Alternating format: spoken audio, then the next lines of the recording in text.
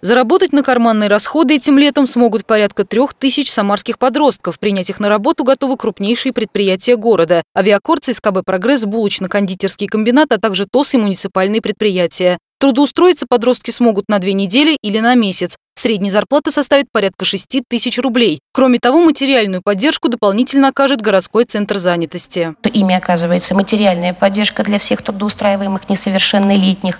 Цифра а, материальной помощи, которая будет выделяться за полный рабочий месяц в этом году, составляет 1275 рублей. Особое внимание глава администрации Олег Фурсов поручил уделить летнему трудоустройству детей, стоящих на учете в инспекции по делам несовершеннолетних. В городе их порядка тысячи человек, а также создать подходящие условия для труда подростков с ограниченными возможностями здоровья и ребятам из многодетных и малообеспеченных семей. На них достаточно большая нагрузка в существующих экономических условиях на эти семьи легла. Поэтому надо этих ребят тоже выявлять и давать им возможность зарабатывать. Многие дети во время летних каникул отправятся в лагеря отдыха. В этом году будут работать 165 лагерей с дневным пребыванием и 7 загородных. Планируется, что оздоровиться и отдохнуть в них смогут больше 100 тысяч ребят.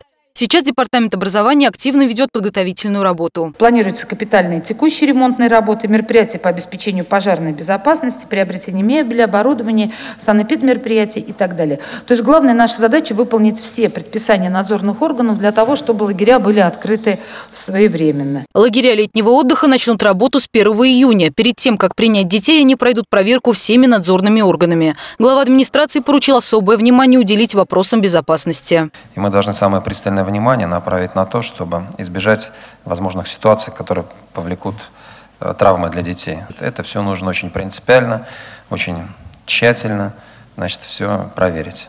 Здесь и департамент спорта должен участие принять, и соответствующие службы Роспотребнадзора. Провести время с пользой во время каникул смогут и дети, оставшиеся в городе. Все лето на спортивных площадках будут работать тренеры-общественники. Пройдут городские соревнования по боксу, футболу и веломарафон. Лариса Шалафаст, Константин Головин. События.